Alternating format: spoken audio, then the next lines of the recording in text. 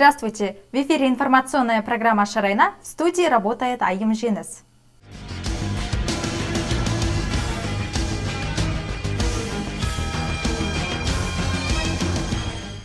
Сегодня в здании университета имени Шакарима прошел коллективный просмотр послания Касым Жумарт Кемелевича Токаева народу Казахстана.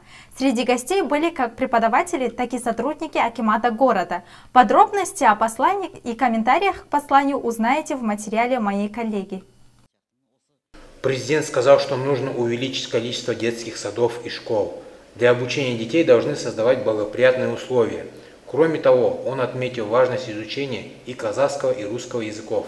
Я считаю это правильно а является для всех для нас большим этапом, потому что мы а, с началом учебного года мы как будто переступаем а, какой-то рубеж, который был до этого, и нам, конечно, хочется построить планы. И вот сегодня мы слышим слышали о тех планах, которые, которыми э, с нами поделился президент. И мы понимаем, слушая, насколько скрупулезно продумана вся работа, которая ожидает нас, а, наше руководство и нас вместе, и насколько есть хорошие возможности всем нам развиваться, нашему обществу развиваться. И это просто замечательно, потому что мы слышим и об экономике, это очень важно. Мы слышим и о развитии регионов, это очень важно. Мы слышим о развитии гражданского общества, это замечательно. Мы слышим о том, что нужно поддерживать образование, развивать образование, и это просто замечательно, потому что мы понимаем, образованное общество, образованные дети, дети будут строить образованное общество. И это нам очень важно. Да? А, я вот как представитель высшей школы понимаю, и мне отрадно слышать о том, что очень много уделяется внимания развитию школьного образования, высшего образования, формированию интеллигенции. Это очень важный момент. Да, экономика – это хорошо, э, это двигатель нашего, так сказать, прогресса, двигатель нашего государства. Но, тем не менее, я считаю, что без э, основ гуманитарных, без основ, которые закладывает интеллигенция, мы будем строить неполноценное общество. А вот полноценное общество, оно как раз в том, когда человек понимает эм, мировоззренчески, что такое наш мир, что такое наша Земля, что такое наша экология и все остальные процессы. Ведь на самом деле, слушая президента, я представляю наш, наше государство как а, огромный корабль, корабль под а, флагом Казахстана, который идет верным курсом. И этот курс определяет руководство, определяет правительство. И этот курс правильный. По итогам послания выведены несколько основных пунктов и целей на изменение общей картины структуры страны. Прекратить вмешательство государства в ценообразование – на 2023 год будет подготовлен новый налоговый кодекс. Одним из первых изменений будет налог на роскошь. Он будет взиматься при приобретении дорогостоящих объектов недвижимости, транспортных средств и не затронет средний класс. Средства, изъятые у коррупционеров, направят на строительство школ. А женщинам снизили пенсионный порог, и теперь он достигает возраста от 61 года.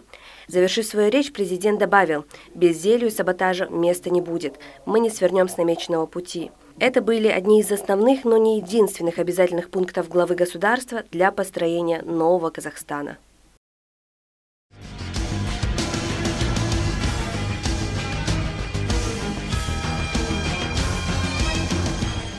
Продолжении темы в медицинском университете Семея также прошли коллективные слушания послания президента Республики Казахстан.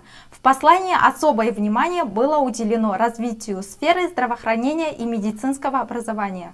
Сегодня мы заслушали послание президента нашей страны Касым Жомарт Кемельевича Тукаева народу Казахстана.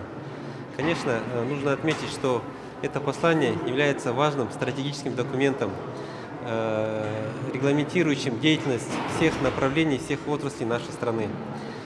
Очень отрадно, что в данном послании отражаются многие факторы, способствующие развитию э, нашей страны, э, нашей экономики, развитию сельского хозяйства, развитию коммуникации, развитию сельского хозяйства и многие другие направления. Университетінің Коллектив Семейского медицинского университета и студенческое сообщество с большим энтузиазмом слушают послание президента нашей страны Касым Жомарта Кемеловича народу Казахстана. Мы ожидаем больших изменений, касающихся сферы высшего образования, медицины, развития медицинской отрасли в сельской местности, в том числе открытие фельдшерских акушерских пунктов. Обеспечение их специалистами медицины вызвало очень большую признательность. Ведь развитие сельской медицины – это очень ответственное дело.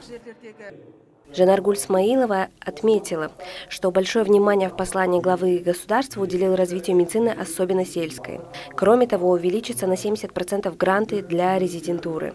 Улучшение качества медицинского образования будет эффектом принятых мер, как следствие улучшится в целом и оказание медицинских услуг. Безусловно, больше молодых людей захотят связать свою жизнь с медициной. Эти реформы поступательные и ими занимаются уже определенное время, прокомментировала Жанаргуль Смаилова. Мадина Кадргожина, Даулет Айтказинов, Марат Сагымбаев. Информационная программа «Шарайна», ТВК-6.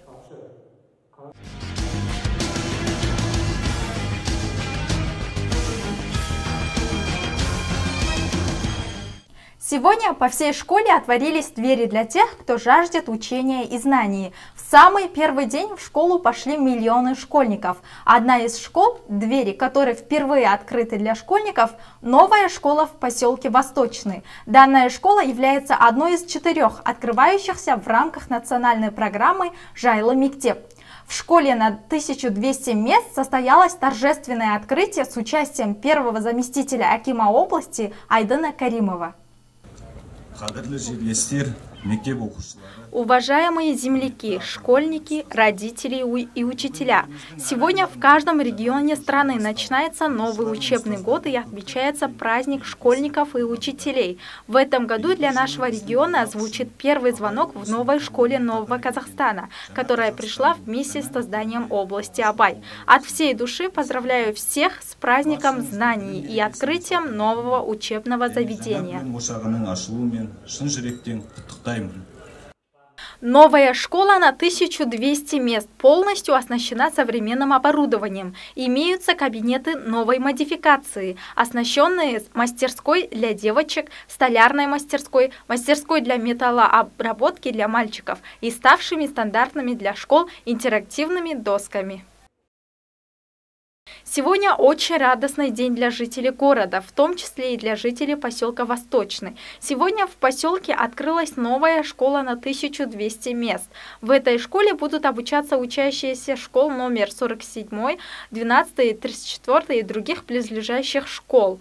Как вы видите, эта школа оснащена новейшим современным оборудованием. В школе имеются кабинеты новой модификации, оснащение столовой, спортивным залом, мастерской для девочек, мастерской по обработке дерева, металла. В этой школе созданы все условия для обучения и воспитания детей, и сегодня вы станете свидетелем торжественного открытия этого заведения. В этом учебном году в области Абай функционирует 301 школа в рамках национального проекта «Комфортная школа». Открыто 4 школы, одна из которых на сегодняшний день открыта в поселке Восточный. Обучение будет вестись на двух языках. В этом учебном году в области Абай 10 280 детей переступили порог школы, в том числе в казахских классах более 7 тысяч учащихся, в русских более 3 тысяч. Стоит отметить, что в связи со снижением учебной нагрузки учащихся в текущем учебном году 29 школ вместо второй смены будут учиться в первую. В новом учебном году в области Абай все школы перешли на стопроцентную пятидневную учебную неделю. Поздравляем всех с Днем Знаний, началом нового учебного года. Желаем крепкого здоровья и дальнейших успехов.